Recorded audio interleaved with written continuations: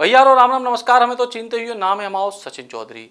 मध्य प्रदेश में भारतीय जनता पार्टी को प्रचंड बहुमत मिले हैं और कई ऐसे लोग चुनाव जीते हैं जिनके चुनाव जीतने की उम्मीद नहीं होती। लेकिन कई जात के जब राजनीति में ऐसे बड़े काम होते हैं तो कई बार उलटफेर भी हो जाते हैं और ऐसे ही कई सारे उलटफेर देखने को मिले जब इतनी प्रचंड जीत में भी मध्य प्रदेश के 12 मंत्री चुनाव हार गए। और इन मंत्रियों में कई बड़े नाम हैं। मध्य प्रदेश सरकार के गृह मंत्री नरोत्तम मिश्रा सहकारिता मंत्री अरविंद भदौरिया, ग्रामीण विकास एवं पंचायत मंत्री महेंद्र सिंह सिसोदिया समेत कुल 12 नाम हैं जो चुनाव हारे। इनमें एक नाम कमल पटेल को भी है, जो मध्य प्रदेश के कृषि मंत्री हैं। और इन नेताओं की हार की क्या वजह है? कौन कौन से नेता चुनाव हारे हैं जो मंत्री के पद पे थे वे हम आपको एक एक करके बता रहे हैं। सबसे पहले बात करें नरोत्तम मिश्रा की। नरोत्तम मिश्रा मध्य प्रदेश सरकार के गृह मंत्री, ताकतवर नेता और दतिया में ढेरों विकास के काम कराए, लेकिन इसके बाद भी उनको हार को सामना करने पड़े।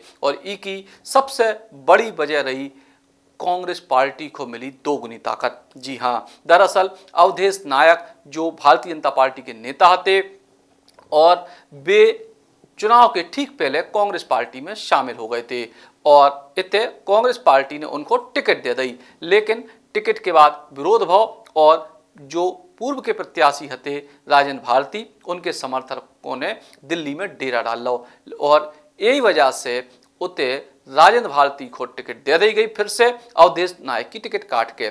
ऐसे में भाजपा को और नरोत्तम मिश्रा को उम्मीद थी कि अवधेश नायक को गुट जो है कांग्रेस के संग नहीं जो है या उतने मन से काम नहीं करे। लेकिन अवधेश नायक पूरी तरीके से कांग्रेस के संग डटे रहे और एक तरीके से नरोत्तम मिश्रा से उनको निजी बुराई हती वो बुराई को उन्हें खूब भंजाओ और अवधेश नायक और राजन भारती जब दो ही ताकतें एक हो गई, सो नरोत्तम मिश्रा चुनाव हार गए और ये आशंका उन्हें हती भी, लेकिन पूरी कोशिशों के बाद भी वे चुनाव नहीं जीत पाए। दूसरी तरफ़ बात करें मध्य प्रदेश सरकार के कृषि मंत्री कमल पटेल की, कमल पटेल हरदा सीट से विधायक हते और इते पूर्व नगर पालिका अध्यक्ष सुरेन जैन जो उनके बाल सखा एक तरीके से हते, वे अचानक से नाराज़ हो गए थे चुनाव के ठीक पहले और उनने दामन छोड़ दो तो कमल पटेल को और ई के बाद भारतीय जनता पार्टी और कमल पटेल, सुरेन जैन को नहीं मना पाए। कई और नेताओं ने भी बतरगात करी और ई के बाद कमल पटेल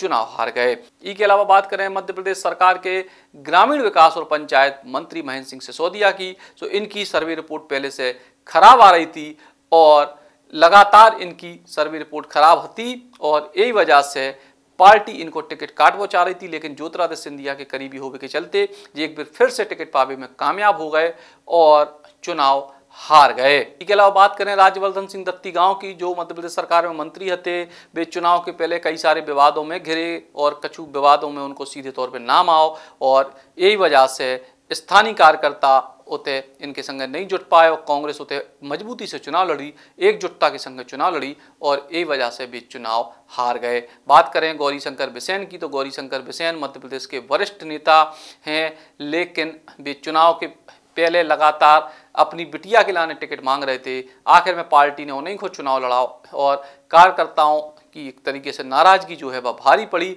और गौरी शंकर बिसेन चुनाव नहीं जीत पाए।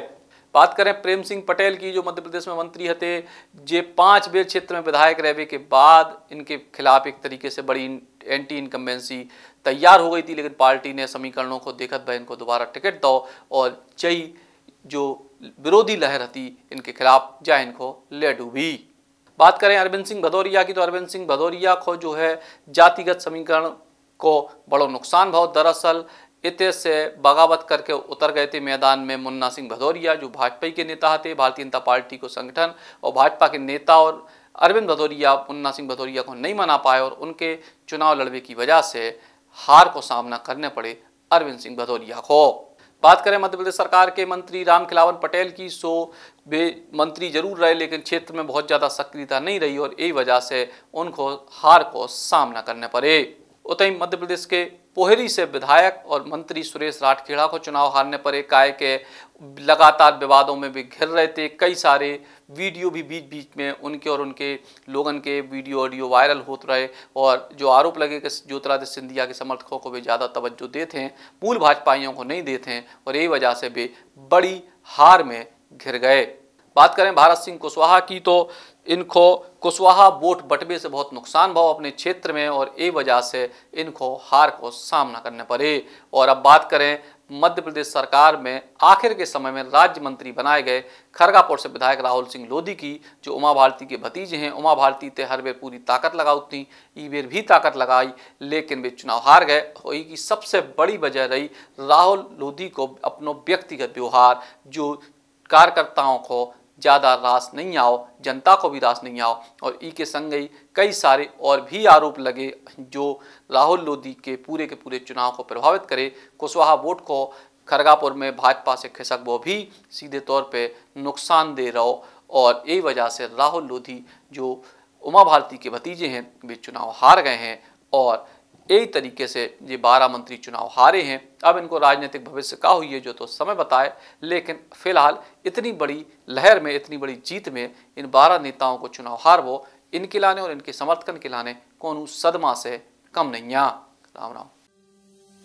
Shri Krishna university Chhatarpur. The hitech university in central India Bundelkhand के लिए। गौरव की बात है कि अब छतरपुर में हम आपको देंगे विश्व स्तरीय एजुकेशन सिस्टम और वर्ल्ड क्लास इंफ्रास्ट्रक्चर कोरोना जैसी महामारी के दौर में अब महानगरों की भीड़ भाड़ अत्यधिक खर्च से बचे तथा अपने घर एवं अपने शहर में रहकर ही विश्व स्तरीय रोज़गार उन्मुखी शिक्षा को प्राप्त करें और महानगरों में होने वाली परेशानी से बचे, क्योंकि कोरोना ने हमें सिखा दिया है कि हम महानगरों में सुरक्षित हैं या अपने शहर और घर में। इसीलिए श्री कृष्णा विश्वविद्यालय आपको देगा राष्ट्रीय शिक्षा नीति 2020 के अनुसार तैयार पाठ्यक्रम और कोर्स में प्रवेश के अवसर।